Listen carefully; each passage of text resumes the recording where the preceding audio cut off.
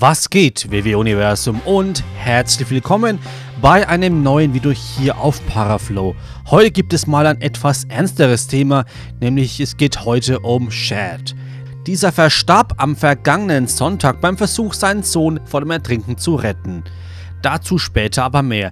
Ich möchte in diesem Video ein wenig die Privatperson beleuchten, wer diese Person war, sein privater, aber auch wrestlerischer Werdegang und warum ihn so viele Kollegen und Fans aus dem Pro-Wrestling-Business als Helden feiern.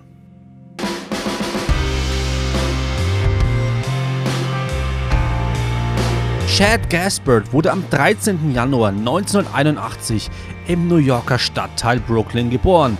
Dieser Bezirk gehört zu den am dichtesten besiedelten Gegenden in den USA, aber auch zu denen mit der höchsten Kriminalitätsrate, weswegen diese Gegend auch keinen guten Ruf genießt. Zurück aber zu Shad. Dieser begann im zarten Alter von 5 Jahren bereits mit dem Boxtraining. Trainiert wurde er von seinem Vater Ben Gaspard, der früher als Mann für die schmutzigen Dinge bei einigen Straßenbanden arbeitete, aber später den Sprung zum Bodyguard schaffte. Im Alter von 8 Jahren begann er dann zudem mit dem MMA-Training und gewann als Schüler seine ersten Amateurkämpfe und komplette Turniere. Für seine aggressiven geführten Matches bekam Shad von seiner Mutter den Beinamen The Beast. Erst als er zur Highschool ging, ging es auch mit dem Wrestling los. Zuvor kämpfte er beim ehemaligen WCW-Wrestler Hardy Body Harrison einige MMA-Kämpfe in dessen Promotion. Neben dem Wrestling widmete er sich auch dem Basketball und spielte im Team seiner Highschool. Nachdem diese beendet war, nahm er einen Job als Bodyguard an und diente einigen bekannten Persönlichkeiten wie Britney Spears, Puff Daddy, aber auch Mike Tyson. Nachdem er erste Erfahrungen in Sachen Wrestling in der Highschool sammeln konnte, beschloss Shad, an der zweiten Staffel von WWE Tough Enough im Jahre 2002 teilzunehmen. Dabei handelt es sich um eine Castingshow der WWE, in welchen der Gewinner neben einem WWE-Vertrag auch eine große Summe Geld gewinnen konnte. Shad konnte sich dort aber nicht zum Sieger durchsetzen. Durch seine Teilnahme dort wurden aber die WWE Scouts auf ihn aufmerksam. Sie schickten ihn erstmal zur der WWE Trainingsliga Ohio Valley Wrestling. 2003 debütierte er dann dort als The Beast, woher der Name kommt, hatten wir ja bereits. Im Juni 2005 überzeugte er die WWE endgültig und sie boten ihm einen WWE Entwicklungsvertrag an, den er schließlich auch unterschrieb. Am 16. Oktober 2006 debütierte er dann zusammen mit JTG als Tag Team Crime Time. Der Rest ist Geschichte. Sie blieben bis September 2007 bei der WWE, kehrten danach in die Indies zurück und starteten 2008 ihren zweiten WWE-Run, welcher im November 2010 dann wieder endete. Shad wrestelte in den Indies zusammen an der Seite von JTG bis zu dessen Tod weiter in den Indies. Sein letztes Match hatte er im Januar diesen Jahres. Das Ganze hört sich nach einer 0815 Story eines stinknormalen Wrestlers an, aber warum wird er jetzt als großer Held gefeiert?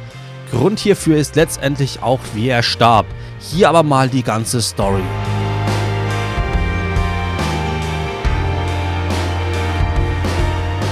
Am vergangenen Sonntag, also dem 17. Mai 2020, ging Shad zusammen mit seinem Sohn und einer Schwimmergruppe an den Strand von Los Angeles, um dort zu schwimmen. Bei diesem Badeausflug soll die Gruppe nach übereinstimmenden Berichten von einer starken Strömung ins offene Meer gezogen worden sein. Laut mehreren Quellen half Shad den heranstürmenden Rettungsschwimmern dabei, seinen Sohn aus den Fluten zu retten und er soll darauf bestanden haben, dass zuerst sein Sohn aus dem Wasser gerettet werden soll. Dies war leider sein Todesurteil.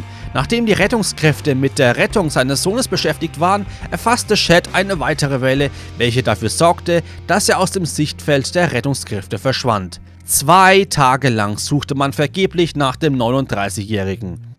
Right now, a tragic update here. The coroner just confirmed that the body found on Venice Beach this morning is former WWE wrestler Shad Gaspard. You might remember he went under the waves while swimming with his 10 year old son. On Sunday, his son was rescued. Search efforts for the 39 year old father were suspended yesterday. Ein Spaziergänger fand am Mittwochmorgen die vom Meer angespülte Leiche von Chad. Er ertrank in den Fluten. Als Vater ist man immer bedacht, sein Kind zu schützen, das ist klar.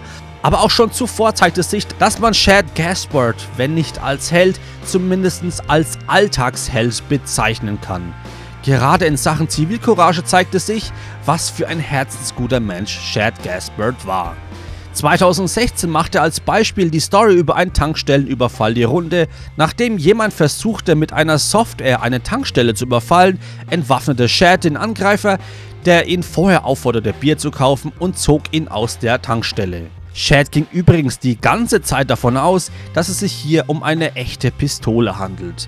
Die Polizei musste dann nur noch den ausgenockten Mann verhaften. Vielleicht ging Chad hier etwas falsch in der Situation vor und hätte sich nicht selber in Gefahr bringen sollen. Trotzdem zeigte es sich, was Chad für eine Person war. Er war nie der beste Wrestler, dafür umso besser am Mike und brachte mich nicht nur einmal zum Lachen.